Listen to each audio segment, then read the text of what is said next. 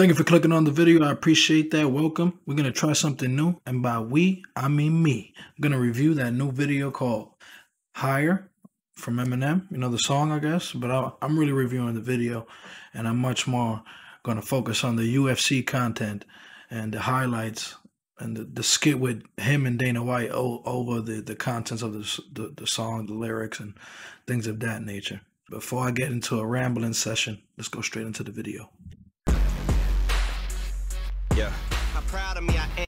It's hilarious. It's a UFC themed video, and he's actually in a boxing ring.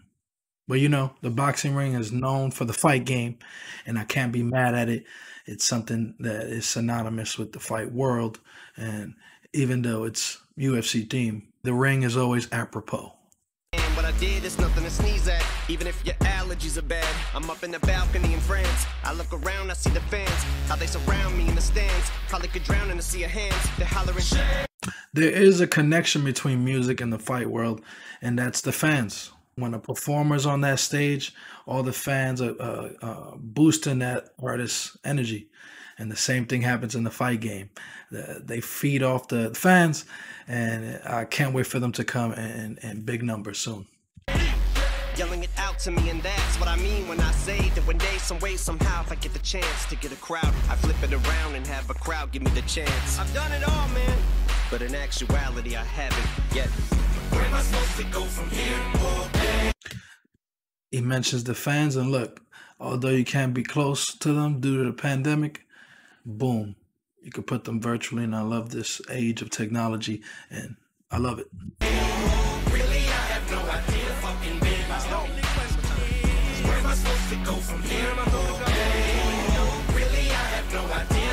Gotta have Amanda Nunes up in there. I don't know if they showed the Dustin Poirier piece where he's raising his hand on the TV. Fire.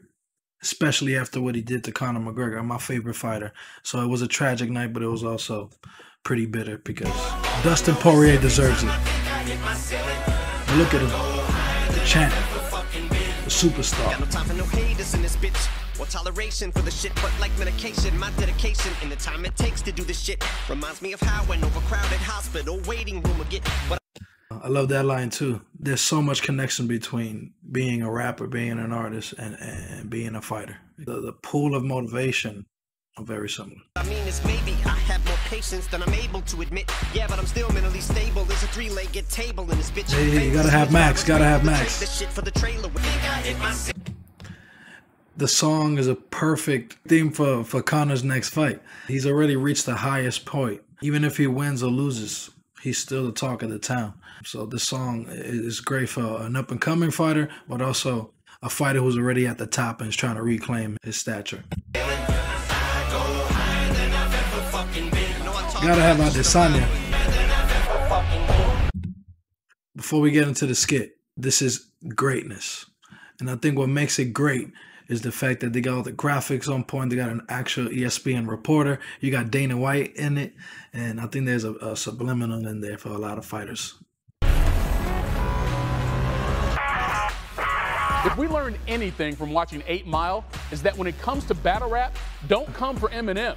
He will be the first to tell you that he treats the rap game the same way the world's best athletes treat their respective sport, with a 24 7 tenacity And that brings the video full circle. The connection to rap battling and, and fighting is very much a competitive sport, one verbal, one physical, but comes from a, a lot of the same vigor and comes from a lot of the same places internally. that only the elite are able to channel. He spent his entire life studying and training to be the best, but even with a life of preparation, will it be enough for his next battle? It's one thing to conquer your competition, it's another to conquer your demons. With us now to share his thoughts is Dana White, who knows a thing or two about marquee battles. Dana, thanks for being with us. How Mm, I think that's going to be key because I think you, you, you're going to see upcoming. Uh, the guy he's facing off with has no face. So he's facing off with pretty much himself, his own demons. prepared can one be when going up against an opponent of this magnitude? Yeah, thanks for having me. Listen, I- I'm a huge Eminem fan, but this is a tough one. This opponent is not someone you can prepare for. It's a tricky demon to conquer, even for someone as badass as Eminem. My prediction Speaking of badass, the fact that he's mentioned Eminem in the in this context and they, they're playing it off like it's a fight. Oh man, imagine an actual rap battle with this level of a press conference. Oh, that would be amazing. Is disappointment for fans all over the world. That's interesting. Um, we are now joined by the man himself. Eminem. M, appreciate it. Uh, what's your response to what Dana just uh, said? This is great. I want to say, great, first guys. of all, um, thank you for having me on. I think that people like you give people like me. How many fighters would have loved to say this to Dana to White to his face? in the first place. So I think that the best part about Virtually your opinion is that it doesn't matter. And if every fighter that you had listened to your opinion when you doubted them, you wouldn't have a league. So you're an asshole, and I'm out. And that's well, a fucking fact. he definitely fact. sounds ready. In any case, it should be a battle for the ages. Thank you, Dana, and best. But what I will say, Dana White is a more rough, um, aggressive businessman, and that kind of matches his aggressive nature and his aggressive criticism he gives to the fighters. Maybe in his own way, he's trying to motivate these fighters, and um, everyone has their own little approach to do that. Good luck to you, Eminem. But that was great. Every time I see this part, I do not know if that's Dana White or they just got a random bald dude to be in the video with a mask on. Been in survival mode. Since a five-year-old, it was I alone. Since my track was those viral notebook and microphone. They show him in the gym. Now they're showing him in his actual room right in the bars. That's fire. This is perfect. This is just a perfect video, and Eminem always has great videos. Reminder, my take a float out like beat by. You see my finger, you see my thumb. You see my fist for a pipe. I'm here for the smoke, but it's not the weed I want. With this beat I brung for the beef I've come. But you better bring it if you want to reply from. Cause for you to be lyrically inclined, it'll be a steep climb up. This is also a, a, a lesson to future fighters. Look at the type of promotion McGregor brings. Just look at it. You got an Eminem video promoting the fight. You had the first fight on ABC. You think there's no coincidence that is because Conor McGregor was fighting two weeks after or the week after? This this is a lesson to many fighters. That'll be an uphill battle, but I'm up like your feet in a recliner.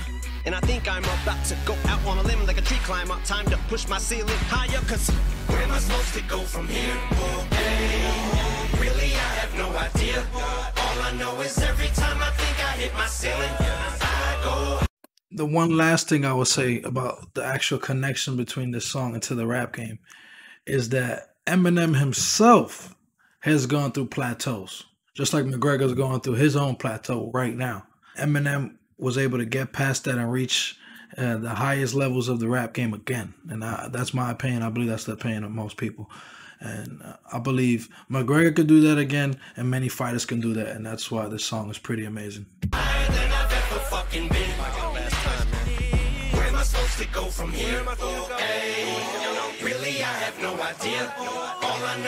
every time I think I hit my ceiling, I go higher than I've ever fucking been. Well, this was my first time doing this. This was fun. I think the video was great. I think the song is actually pretty catchy and it's pretty motivating. And I can imagine the fighters coming out. I, I want to see who's the first fighter to come out to this song because it's pretty interesting. Um, we'll definitely look forward to other videos just like this. We're going to be throwing different things at you, different curveballs, different content, maybe some skits, maybe some fight breakdowns. Got to focus on the Puerto Rican prospects. We got to do what we got to do.